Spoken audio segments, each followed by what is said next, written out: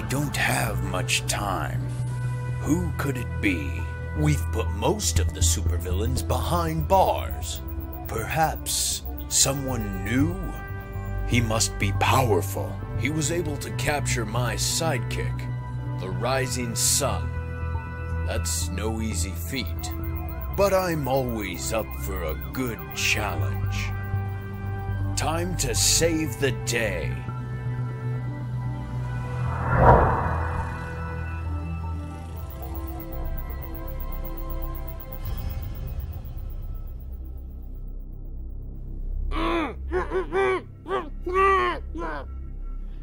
You didn't put up much of a fight.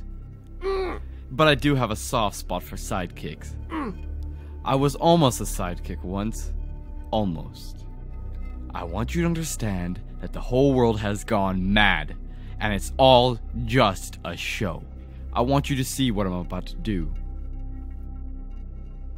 If you have a plan, it's best to keep it simple. Capture the sidekick, and the hero will come running to save you and fall into my trap. And what awaits him? A man dressed in some foolish costume? A monologue?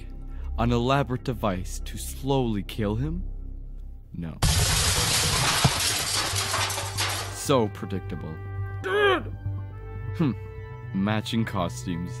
I am Dawnbreaker, bright as the sun.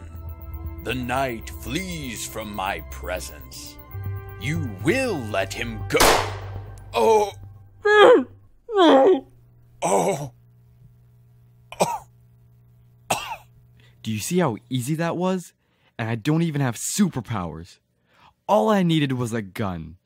Do you know how easy it is to get a gun? The tool of cowards. Oh, still alive? You are super after all. Easy fix. See? Why are you doing this? I ask, how come no one else has done this until now? You could have rid the world of crime. But it's not just the heroes. Why have supervillains made it so difficult for themselves? So many squandered opportunities. To what? Convince heroes they are superior? They have showmanship and class. You're just a thug with a gun. And look how much I've accomplished. Son, I'm sorry I couldn't save you.